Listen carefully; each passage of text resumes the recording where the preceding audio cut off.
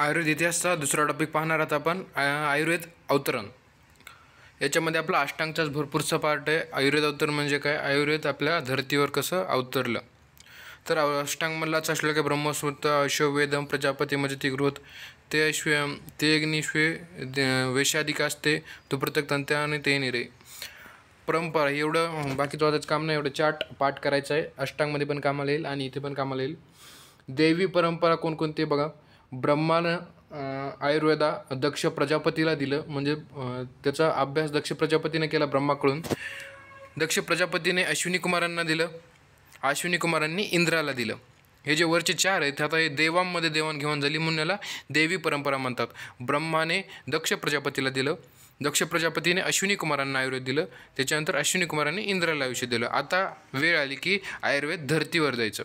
तर इंद्राने आत्रेय मुनी यांना आयुर्वेदाचं ज्ञान दिलं आत्रेय मुनींनी ते स्मरण केलं आणि त्यांच्या त्यांचे जे आत्रेय मुनींचे जे अग्निवेश शिष्य होते इत्यादी पाच सहा शिष्य होते त्यांनी त्या सगळ्यांना आयुर्वेदाचं ज्ञान दिलं आणि मग त्यांनी विविध संहिता लिहिल्या. असं हे आयुर्वेदाचं अवतरण आपल्या भूमीवर झालं पाठ करून टाका. ब्रह्माने दिलं दक्ष प्रजापतीला. दक्ष प्रजापतीने दिलं अश्विनी कुमारांना. अश्विनी कुमारांनी दिलं इंद्रांना. इंद्राने दिलं अत्रिय मुनी आणि त्यांनी दिलं त्यांच्या शिष्यांना. याच्यामध्ये बस एवढंच होतं. आता आपलं जे पुराण काळ होता रामायण महाभारत त्याच्यामध्ये आयुर्वेदाचा उल्लेख कुठं कुठं आला आहे ते सुद्धा एम सी क्यूचा पाठ बनू शकतो. मग आता एका संहिते म्हणजे रामायणामध्ये काय सांगितलं माहिती आहे का? भरत ओजळून येईपर्यंत दशरथाचे शव तेल शो द्रोषणीत ठेवले होते असा उल्लेख सापडतो. तेल द्रोषणीत. म्हणजे काय? दशरथ आता ज- जेव्हा भरत आहे तो बाहेर गे गावी असताना त्यांच्या वडिलांचं दशरथाचं निधन झालं. तेव्हा तो भरत येईपर्यंत त्याच्या हाताने अग्नी देण्यासाठी तो येईपर्यंत त्या जी बॉडी आहे दशरथाची त्याला तेल दृष्णीत ठेवण्याचा उल्लेख आपल्याला रामायणात सापडतो. त्याच्यानंतर रामायण हा आयुर्वेदाचा उत्तम जाणकार होता त्याने. अ, रावण संहिता लिहिली पहिल्या पाठमध्ये पाहिलं आपण. त्यानं अशोक वनामध्ये भरपूर सारे आयुर्वेदिक वनस्पती लावलेले होते. त्याच्याकडे सुशेन नावाचा एक प्रसिद्ध वैद्य होता. रावणाकडे कोणता वैद्य होता? सुशेन. यानेच आपल्या लक्ष्मणावर उपचार केलेले होते. आपल्या मारुतीने म्हणजे हनुमानाने संजीवनी वनस्पती म्हणजे संजीवनी पर्वत हे सुद्धा आपल्याला आणलेला होता हे सुद्धा आपल्याला माहिती आहे. तेव्हा सुद्धा वैद्य शब्द वापरला. अश्विनी कुमाराने इंद्राचे व्रशन शीन झाले होते तेव्हा बदलून मेंढ्याचे व्रशन लावले म्हणून त्याला मेष व्रशन असे नाव पडले. हे एम सी क्यूचा पाठ बनू शकतो. अश्विनी कुमारांनी काय केलं होतं? ब्रह्माने अश्विनी कुमारला ज्ञान दिलं होतं मग त्यांनी उपकृत केला आहे जेव्हा इंद्राचे व्रशन शीन झालेले होते तेव्हा त्याला बदलून मेंढाचे व्रशन लावले होते आणि त्या व्रशनला मेष व्रशन म्हटलं जात होतं इंद्राच्या वृषणानंतर त्याच्यानंतर सीतेने मूळ गर्भ हा शब्द वापरला होता. हनुमानाला काही गोष्टी सांगताना जेव्हा मूळ गर्भ म्हणजे काय? तिने सांगितलं की रावण हा माझी कशी अवस्था करेल? ते मूळ गर्भ शब्दाचा अर्थ काय? दुर्दैवाने बालकाचा मृत्यू जर गर्भातच झाला तर स्त्रीरोग तज्ज्ञ तो छोटे छोटे तुकडे करून योनी वाटे बाहेर काढतात. जेव्हा अबॉर्शन करतो आपण मधलीमध्ये तेव्हा बाळाचे छोटे छोटे तुकडे करून आपण योनीच्या बाहेर काढतो. तशी अवस्था रावण माझी करेल अशी व्यथा आपली सीतामाता सांगत होती. त्याला मूळ गर्भ हा शब्द वापरला यावर एम सी घेऊ शकतो. त्याच्यानंतर द्व्यापार युगातील महाभारत महाभारत व्यापारगात झालं होतं याच्यामध्ये इम्पॉर्टंट गोष्ट अशी आहे की नकुल आणि सहदेव पशुवैद्यकशास्त्रात प्रवीण होते म्हणजे वेटरनरी याच्यामध्ये पशु आणि वैद्य यांचा उपचार करण्यासाठी नकुल आणि सहदेव हे दोघं प्रवीण होते.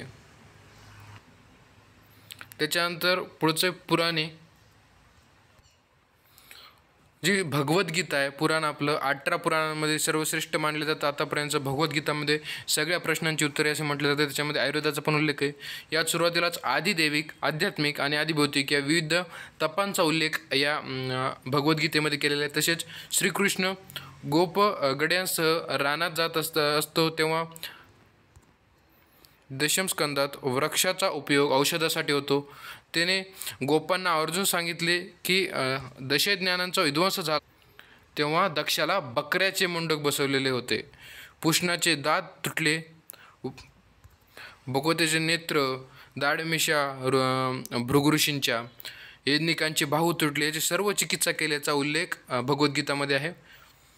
याशिवाय चिवण ऋषींनी तारुण्य परत मिळ मिळून येणाऱ्या अश्विनी कुमारला उल्लेख आहे जे चौवन्न ऋषी होते. त्यांना अश्विनी कुमारांनी त्यांचं तारुण्य वापस दिलेलं होतं. म्हणजे आयुर्वेदाचं दिनचर्या रुच्चर्याचं पालन करून त्याला ताजतवान केलेलं असं त्याचा उल्लेख अश्विनी कुमारांचा आहे. ते देवांचे वैद्य होते. अश्विनी कुमार हे देवांचे वैद्य होते. असं एम सी घेऊ शकतो. देवांचे वैद्य कोण? तर अश्विनी कुमार. त्याच्यानंतर अग्निपुराण. या पुराणात आयुर्वेदातील अनेक औषधी प्रकारचा उल्लेख आढळतो. याच्यावर एम सी क्यू बनू शकतो. अग्निपुराणामध्ये कोणकोणते आयुर्वेदिक औषध येतात? वृक्ष आयुर्वेद सिद्धौषधी बालग्रहर मृत संजीवनीकर योग मंत्ररूप चिकित्सा हे पाच अग्निपुराणामध्ये येतात. वृक्ष आयुर्वेद सॉरी सिद्धौषधी ब्लारघर मृत संजीवनीकर योग मंत्ररूप चिकित्सा. यामध्ये एक्सप्लेन करण्यासारखं काय नाही आहे डायरेक्ट इन्फॉर्मेशन आहे ते आपल्या घ्यायची इतिहास आहे.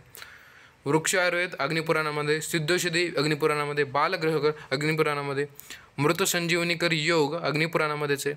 मंत्ररूप चिकित्सा हे सुद्धा अग्निपुराणामध्येच आहे. आता गरुड पुराणामध्ये काय काय म्हणून घर घरामध्ये आपल्या आजही कोणी जर वारलं तर त्याच्या मृतविधीमध्ये आपण गरुड पुराणाचे वाचन आपण करत असतो. बघा घरात कोणी मृत झाल्यास आजही गरुड पुराण वाचले जाते. यामध्ये आयुर्वेदातील रसायन वाजीकरण वात इत्यादीचा उल्लेख आहे. गरुड पुराणात कशा कशाचा उल्लेख आहे? रसायन वाजीकरण आणि वात हे अष्टांग हृदयाचा सुद्धा एक पार्ट आहे वाजीकरण. त्याच्यानंतर वेद. आयुर्वेद हा अथ अथर्ववेदाचा उपवेद आहे. हे आपण चॅप्टरमध्ये याचा उल्लेख केलेलाच आहे. चार वेद कोणकोणते होते? ऋग्वेद यजुर्वेद सामवेद अथर्वेद त्याच्यातला अथर्ववेदाचा जो उपवेद आहे त्याला आयुर्वेद म्हटलं जातं. उपनिषदातील आयुर्वेद त्या काळातलं. जसं भगवद्गीतेत पाहिलं तसंच उपनिषद देखील चौथ्या खंडामध्ये काय केलं आहे की आध्यात्मिक अधिदैविक व्याधींचा उल्लेख आला आहे. इंद्रियाची शक्तीचे व्रतम प पहिल्या खंडात केलेले त्यांनी. खंडात. त्याच्या द्वितीय आणि तृतीय खंडामध्ये वायूचे प्रकार प्राणव्यान अपान उदान समानव्यान आपण जे वायूचे वाताचे प्रकार पडतो त्या त्यांनी द्वितीय आणि तृतीय खंडामध्ये सांगितलेलं होतं. तसेच तृतीय खंडामध्ये अजून पंचज्ञानेंद्रिय पंचकर्मेंद्रिय याचाही उल्लेख उपनिषदांनी केलेला आहे. तेम तेब तेम उपनिषद त्याच्यामध्ये त्यांनी आयुर्वेदाचे आहाराचे व त्यांनी वर्णन केलं आहे कसा आहार असावा या संदर्भामध्ये. तसेच त्यांनी श्वेत श्वेततावर उपनिषद प्राणायाम व योगासनही सांगितलेले आहेत. स्मृती. मनुस्मृतीत सद्विचार सद्वर्तन सांगितलं आहे. स्त्रीचा आदर करायला सांगितला आहे. यत्र नार्यस्तु पूज्यंते रमनते तज्ज्ञ देवता. वैद्य अनेक रुग्णांना स्पर्श करत असतो. त्याचा संसर्ग नको म्हणून त्याच्याकडे आहार घेऊ नये असे सांगितले म्हणजे जे वैद्य आहे त्याच्याकडे आहार घेऊन असं का म्हटले? कारण ते विविध रुग्णांचा त्याला स्पर्श झालेला असतो इन्फेक्शन होणे म्हणून. श्रीमद भगवद्गीतेमध्ये काय काय सांगितले? काही गोष्टींचा उल्लेख दिला आहे सत्वरजतम गुणावर भरपूर माहिती दिली. सत्वरजतम काय म्हटलं आपण? मानसिक आपणरित्या जर हेल्दी असू तरच आपण शारीरिकरित्या हेल्दी राहू शकू. त्याच्यामुळे श्रीमद भगवद्गीतेमध्ये सत्वरजतम या गुणांचा भरपूर माहिती दिली. सात्विक राजस्तमस आहाराचे वर्णन केले. सात्विक आहार म्हणजे ताजेतवानं खाणं राजस तामस जसा तुम्ही आहार घ्याल तशी तुमची मानसिकता होईल तशी तुमची तब्येत होईल. आयुर्वेदाला मान्य असलेले सांख्यदर्शनसुद्धा भगवद्गीतेत सांगितले अशा रीतीने प्राचीन ग्रंथात आयुर्वेदाचा अनेक प्रकार उल्लेख आहे. विशेष चिकित्सा मैत्र चिकित्सा याचाही उल्लेख केला आहे. हे झाला आपला दुसरा चॅप्टर आयुर्वेद अवतरण. आपण नेक्स्ट चॅप्टर पुढच्या व्हिडिओमध्ये घेऊया. Thank you thank you very much